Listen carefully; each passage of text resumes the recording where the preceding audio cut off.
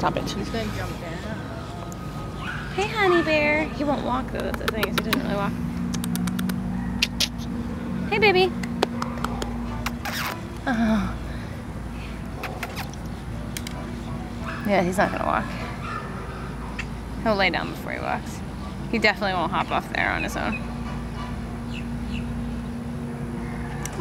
See, we have a boo boo paw. Show the paw. This is the boo boo paw. What did Crystal say was wrong with his paw? Uh, nerve damage.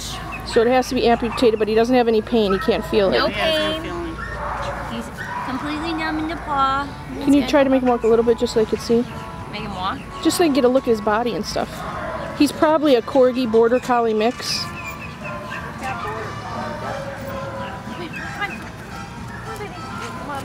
Come on, good boy. Good boy. Good boy. You're learning how to walk. Good boy. Probably already knows a little bit, but good boy. You're gonna be a great three-legged dog. Yeah, if he didn't drag it, it probably wouldn't need to be amputated, but he does. Good boy. Good boy. Aw, that's a good boy. All right, I'm gonna stop.